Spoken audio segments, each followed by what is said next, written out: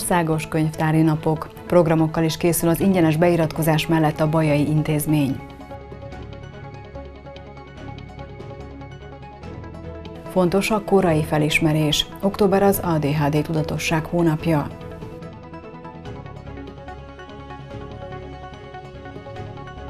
Főtáblás szereplés. Megkezdi a bajnoki küzdelmeket a BNKK junior csapata.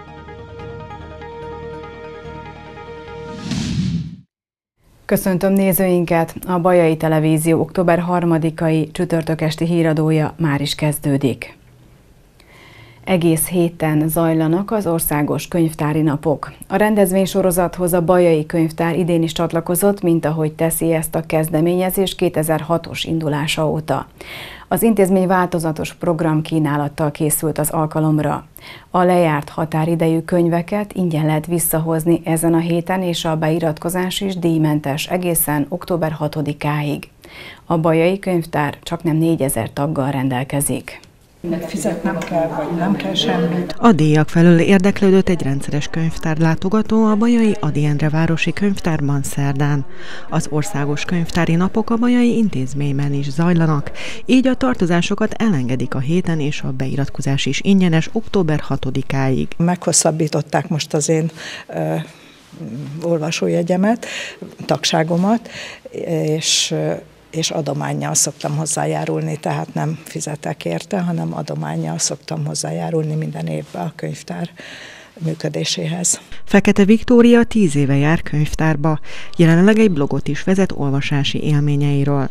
Mint mondta, vegyes az érdeklődési köre. Úgy véli, az olvasás és a könyvtár népszerűsítése szükséges, különösen a fiatalok körében. Nagyon sokan nem ismerik, főként a magyar írókat nem ismerik, és pont ezért úgy gondolom, hogy minél többen beszélünk arról, hogy mennyire jó olvasni, annál nagyobb lesz az, aki járni fog könyvtárba, mert nyilván, hogyha valaki olvasni szeretne, az első opció mindig a könyvtár számára, mert az úgymond ingyenes kvázi, hogy úgy olcsóbb, mint megvenni egy 4-5 ezer forintos könyvet. Az olvasás népszerűsítésére Zaraváli Zászló, az Adi Endre Városi Könyvtár igazgatója szerint is szükség van.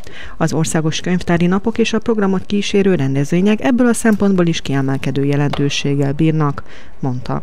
4000 körüli a, a két részleg meg gyermekkönyvtár, felnőtt könyvtárnak a tagsága, élénk a forgalom, vannak napi visszatérő olvasók, akik a sajtószemlét tartanak, vagy netán a számítógépet, internetet használják, rendszeres heti könyvcserélők, vannak akik ritkábban, de élénk forgalom, élénk élet zajlik nálunk. Az EHAVI verskör központjában az Országos Könyvtári Napok mottója a négy őselem, föld, víz, tűz, levegő áll.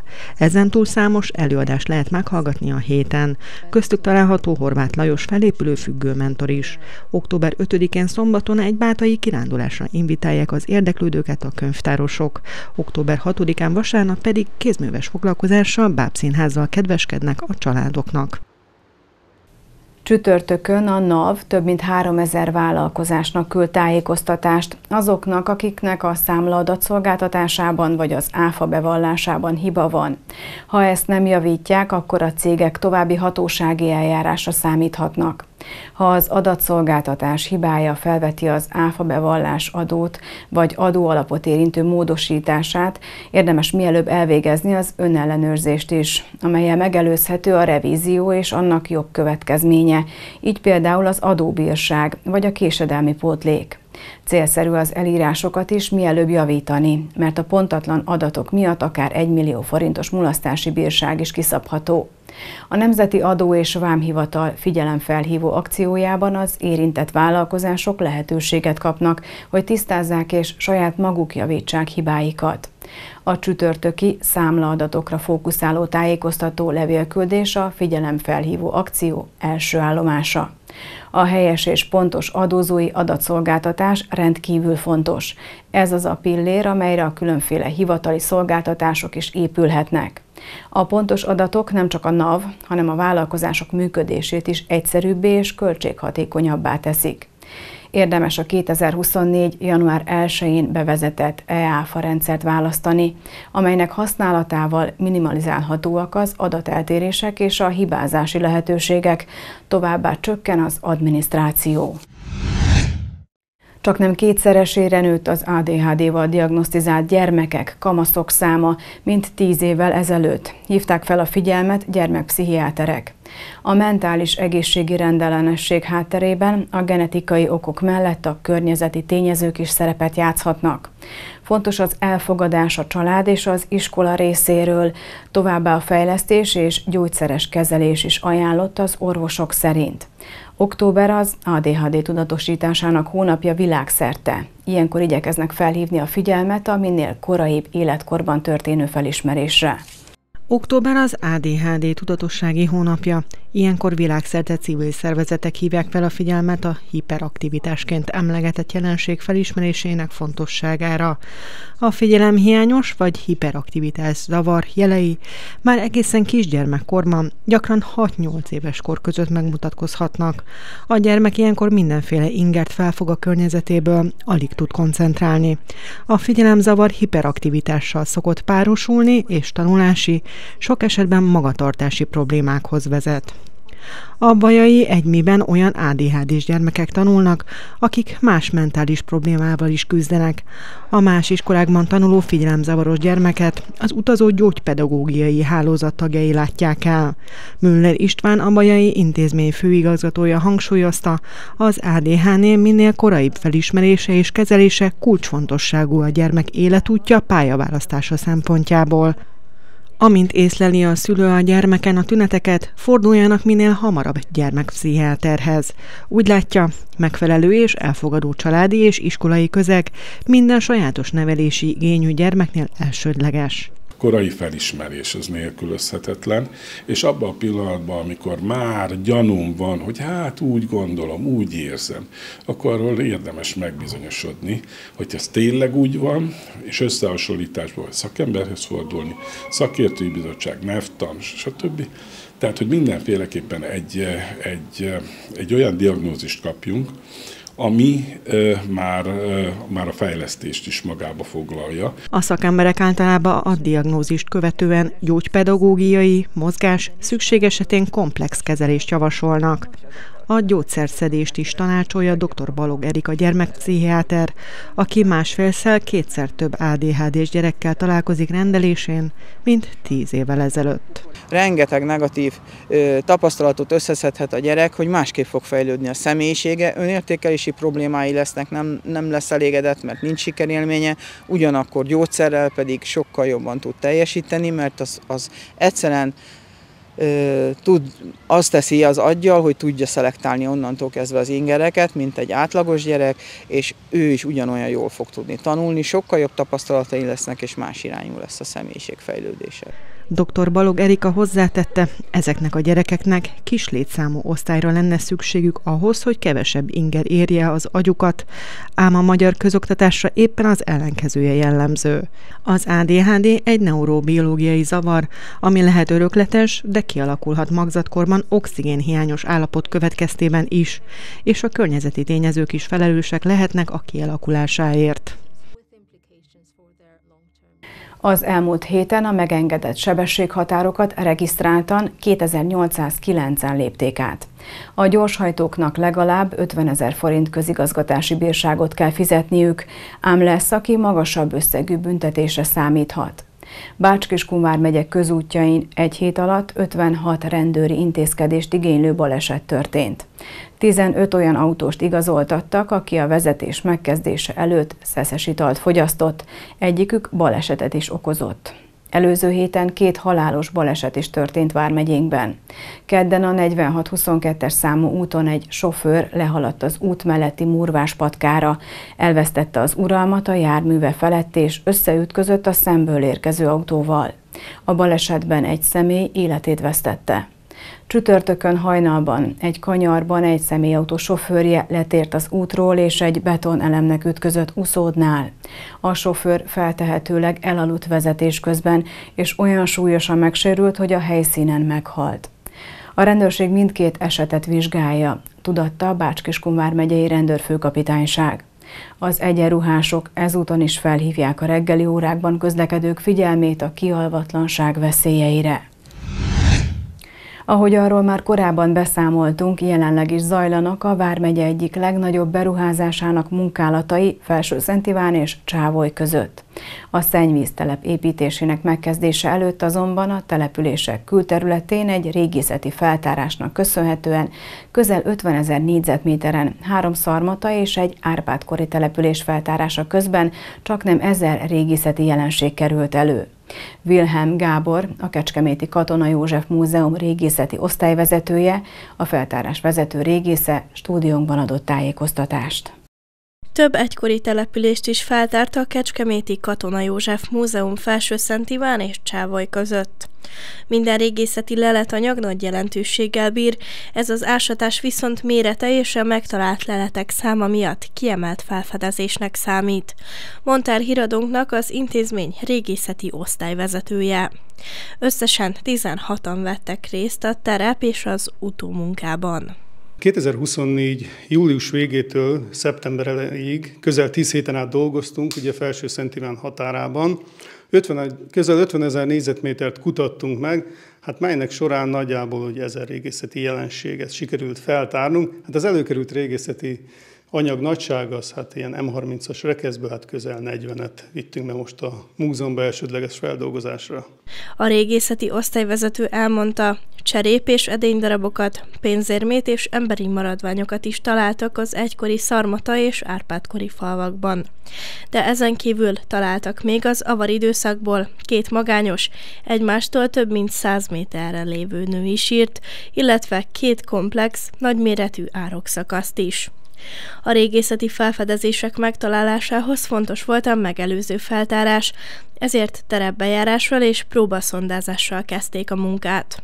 A két település közötti területtel szerencséjük volt, a kiváló talajnak köszönhetően nem volt nagy a leásási mélység, és jó állapotban maradtak a leletek. Iszapoló kanalas kotróval két méteres kanál szélességgel, hát ilyen 50 méteres csíkokat húztak, ami a régészeti jelenségeknek az előkerülési szintjéig tart. Ott feltárják, és ezek az eredmények alapján előírják a régészeti feladatellátás, ugye itt nagyon fontos, hogy a későbbi földmunkák milyen mélységig mennek le. Ha elérik ezeket a régészeti jelenségeket, akkor természetesen fel kell tárni, hogy ne semmisüljenek, meg ne sérüljenek ezek a kulturális örökségvédelmi elemek. A Csávai és Felső Szent Iván között megtalált leleteket ezt követően megmossák, majd restaurálják.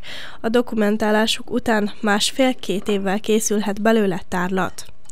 A Bajai Tűr István Múzeum feltehetően 2026-ban állíthatja majd ki a leleteket, mondta Wilhelm Gábor.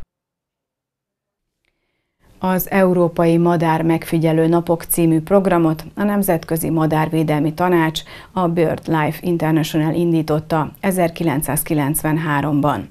Hazánkban a Magyar Madártani és Természetvédelmi Egyesület az esemény koordinátora, amely országszerte számos helyszínen várja az érdeklődőket meghirdetett rendezvényeire.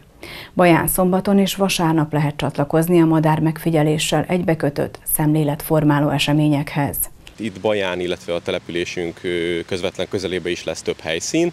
Az egyik ilyen helyszín az szombaton a Tíztó mellett a Harábó déli részén bemutató madárgyűrűzés és madár megfigyelés lesz, azt fogják bemutatni az érdeklődőknek, és vasárnap délután 2 órakor a tűrkilátónál első alkalommal hagyományteremtő módon szeretnénk tartani egy, egy bemutató madárgyűrűzést, amennyiben az időjárás lehetővé teszi, illetve ott a Duna fölött átvonuló madarakat, a Duna és térségének élő világát szeretnénk bemutatni a kilátogató embereknek.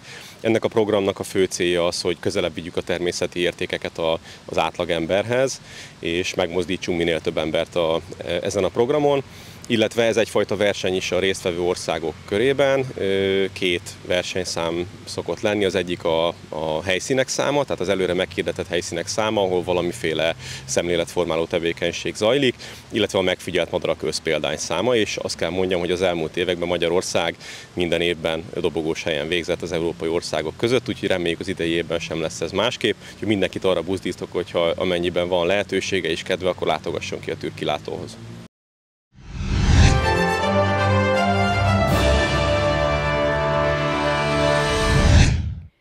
A Bajai Női Kosárlabdaklub utánpótlás csapatai számára is megkezdődtek a 2024-25-ös évad bajnoki küzdelmei.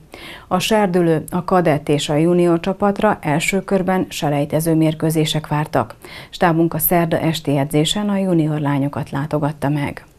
Az előző évek eredménye alapján a BNKK junior csapatának nem kellett szerepelni az előselejtezőben. Így Tamás Zoltán és Havasi Ádám tanítványai számára egy körrel később vette kezdetét az idei bajnoki szezon. A serdülőkhöz hasonlóan a juniorok is a budapesti törekvés otthonában léptek pályára szeptember 21-22-én. A lányokra három mérkőzés várt, amelyből kettőt győzelemmel abszolváltak. Gyakorlatilag ezt az eredményt vártuk, ugye volt egy erős kecskemét, aki föntről jött tavaly az A8-ból, ott azért még nekünk küzdeni kell, hogy azokkal esetlegesen komolyan felvegyük a versenyt, de nem vallottunk szégyent. Hát a másik két ellenfél ugye a Miskolc és a helyi törekvés, az azt kell, hogy mondjam most, hogy nem képvisel túlzott a nagy erőt, tehát az nekünk egy jó bemelegítő edzőmérkőzés volt a szezonra, ezért mindenkitől elnézést kérek, hogy de én ezt így láttam, és ezt így fogom elmondani. A két győzelemnek köszönhetően a második helyen zárta a selejtező csoportot a BNKK, így a középházban szerepelnek majd az alapszakasz során. A három selejtező mérkőzésen remekül dobta a három pontosokat a bedobó poszton játszó Fleckenstein Kata, aki kérésünkre értékelte a csapat teljesítményét.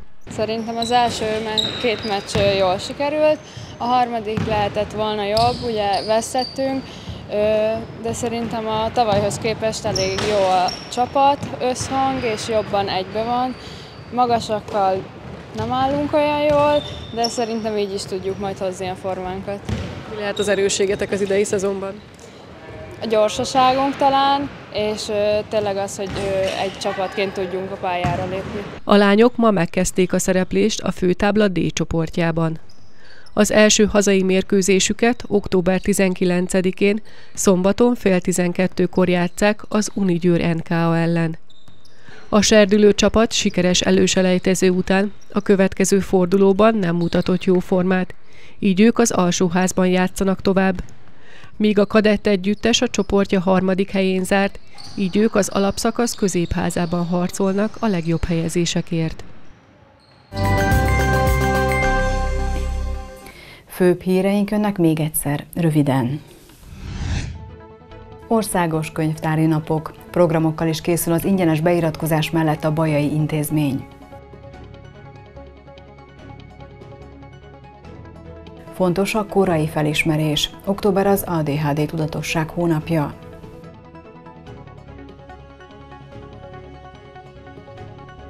Főtáblás szereplés megkezdi a bajnoki küzdelmeket a BNKK junior csapata.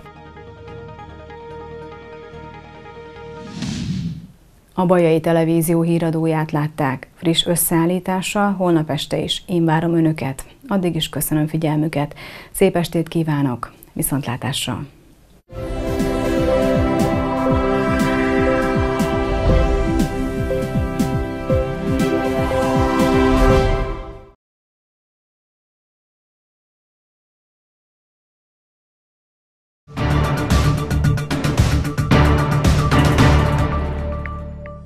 Pénteken borult idő várható, a déli részeken vékonyodik, de csak kevés helyen szakadozhat fel a felhőzet. Sokfelé várható eső, a csapadékzóna napközben fokozatosan északkelet felé helyeződik, közben dél felől szűnik is az eső. Este felé már csak az északi tájakon eshet kevés helyen. Délután a délkeleti országrészben néhol az ég is megdörrenhet. A döntően északi, északnyugati szelet élénk, a nyugat-dunántúlon erős, esetleg viharos lökések kísérhetik, a déli tájakon a délnyugati szél élénkül meg. A legmagasabb nappali hőmérséklet általában 12 és 16 fok között valószínű, de délkeleten ennél jóval magasabb értéket is mérhetnek.